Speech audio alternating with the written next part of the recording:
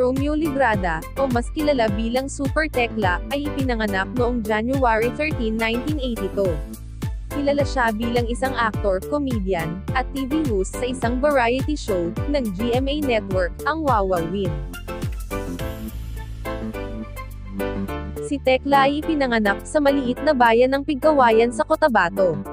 Pinalaki siya ng Manobo tribe, at si nanay maging farmer. Maaga namatay ang kanyang nanay, kaya nagtrabaho siya upang masuportahan ang kanyang pag-aaral, hanggang sa makapagtapos ng high school.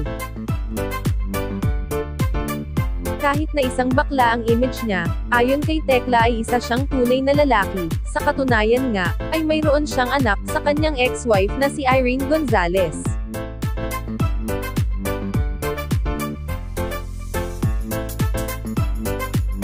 Dahil sa curiosity, si Tekla ay lumuwas ng mag-isa papuntang Maynila, at dito ay naging isang singer sa stage sa mga mall, at sa mga comedy bar, hanggang siya ay napunta sa mga sikat na comedy bar, una ay bilang isang singer, nang tumagal ay naging stand-up comedian na siya.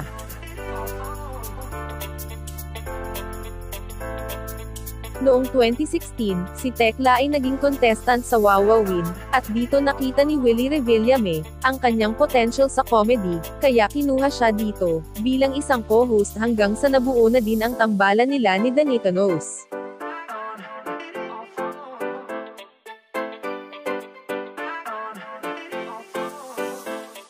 Noong 2017 naman, ay nagkaroon na siya ng kontrata sa GMA, at lumabas sa mga show ng network tulad ng alias Robin Hood, Troops, at Celebrity Blocks. Nagkaroon naman siya ng unang major role, noong 2018 sa Inday Always Love You. Gumanap siya dito bilang Kimberlo, ang sidekick na bading ng bida na si Barbie Forteza.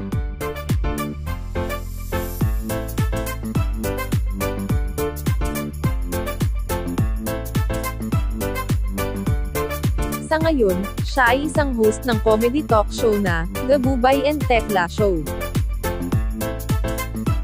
Kasama niya dito ang komedyan na si Bubay.